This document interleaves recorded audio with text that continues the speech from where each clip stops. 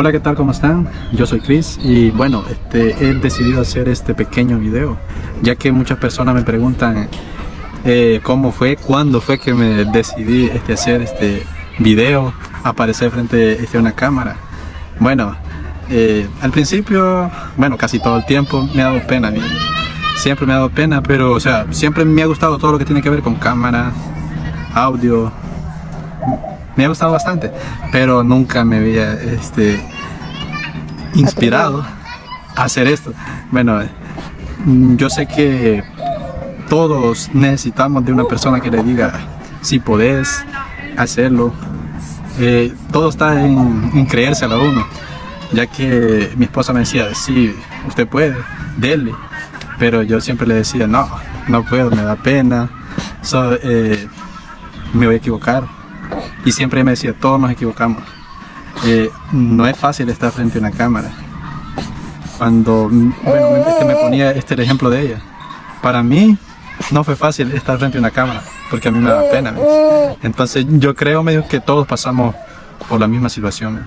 Eh, y bueno, este agarré eso y dije, sí, yo sé que tiene razón, pero no sé, voy a a empezar solo, tal vez solo hablando tras de cámara, para luego este aparecer y bueno, gracias a Dios este, ahora estoy acá. Tengo un poco de pena porque eso es lo que nunca se, se, se quita.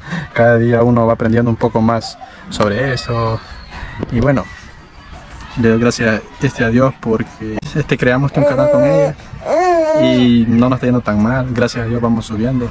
Eh, bueno, y sobre todo, darle gracias a todos los que están suscritos ahí por, por el apoyo. Ella siempre me decía, usted puede, inténtelo, pero yo siempre le decía que no, que me daba pena, que qué van a decir de mí, que bueno, muchas cosas. Cuando uno no quiere hacer las cosas, o está, bueno, más que todo es inseguridad de uno mismo, pone mil y una excusa. Pero este, ahora estoy acá, gracias a Dios estoy aprendiendo un poco más, como les repito, y bueno, o sea, de intentar un poco más de todo, de video, todo eso. Ahora me gusta esto, tanto la edición. Bueno, no les puedo decir estar frente a este, una cámara también, porque de igual forma sigo en, en aprendizaje. Creo que uno nunca deja de aprender y cada día va aprendiendo un poco más. Y bueno, bastante bonito porque gracias a esto uno va conociendo más lugares.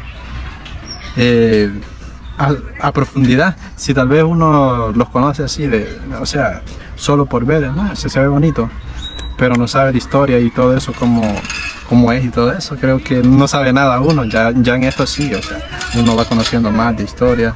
Tal vez si uno va a grabar algún lugar y no, no conoce la historia, se toma el tiempo de buscar en Google ahí eh, un poco de, información sobre el lugar y ya uno ya más o menos recopila toda la información y hace su propio contenido. Y creo que eso es bastante bonito vive la experiencia y queda recuerdo súper bonito Eh, grabado, o sea, lo vamos a decir así mientras no cierren YouTube para toda la vida.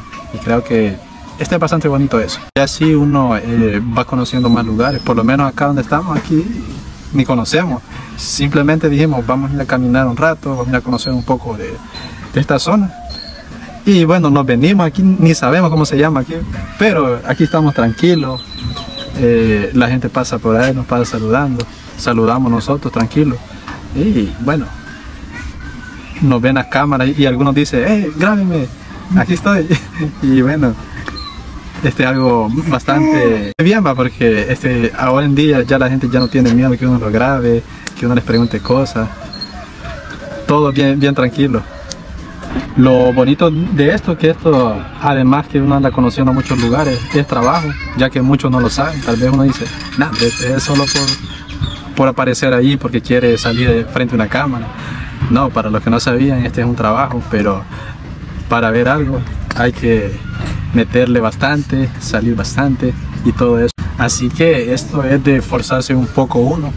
Bueno, para los que critican, este, este es un trabajo que a lo largo esto este genera bastante, en el cual uno puede tomar la decisión de, de ya no depender de, de, un patrón, ser uno su propio patrón acá.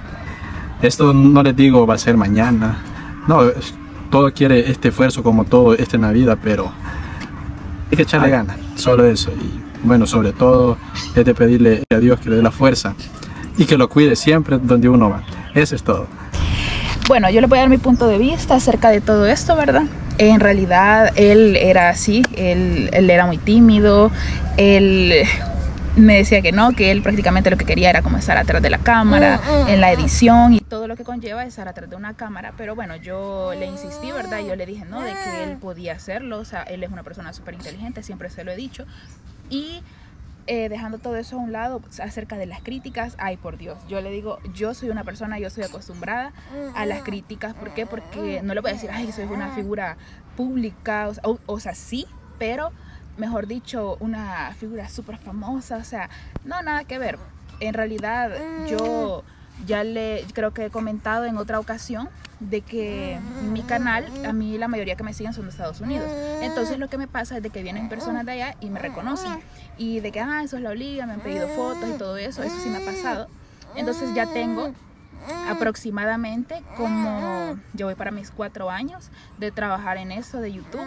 No es fácil, es cuesta, cuesta muchísimo. Pero hablando de las críticas, ay por Dios, yo creo que ya a mí se los juro, o sea, a mí alguien me dice algo y a lo mejor es crítica, es, no sé cómo podría llamarle, a mí se los juro que me da risa, o sea, y al contrario de molestarme, me dan más ganas de seguir haciendo contenido, porque digo, la gente está pendiente de mí, soy importante para la gente, porque lógicamente alguien que tenga algo que hacer no va a estar pendiente de mí. Alguien que esté siendo productivo en su vida, o sea, ni siquiera da tiempo de estar chequeando qué está haciendo otra persona, o qué no está haciendo, o estar criticando lo que hace otra persona. Y menos cuando esas personas no se atreven a hacer lo que estamos haciendo nosotros, porque eso no es para cualquiera. Y, y, la verdad que siempre lo digo y se los puede decir cualquier persona que haga contenido, no es de que uno se crea la gran cosa o sea egocéntrico, no es eso. Lo que pasa es que a las personas que pueden criticar yo les digo, haga esto, a ver si aguanta, porque fácil no es. Así que yo le digo eso a él, me sorprende muchísimo. Eh, ahorita hasta donde ha llegado en tan poco tiempo, va súper bien y mi apoyo pues siempre va a estar ahí. Así que yo sí soy buena para hablar, no sé cuánto tiempo yo voy hablando, pero nada más decirle eso, de que mi apoyo siempre lo va a tener, independientemente de todo, de todo siempre voy a estar ahí orientándolo para algo que necesite, pero yo creo que ella lo hace súper bien, ya se desenvuelve súper bien. En la edición, uff, o sea, me lleva kilómetros ya a mí, yo de eso sí, X nada que ver, pero él me sorprende muchísimo. Georgina, ¿te escuchaste más voz que yo, mi amor? ¡Qué barbaridad! Así que bueno, dentro de poco hasta ella va a salir aquí grabando.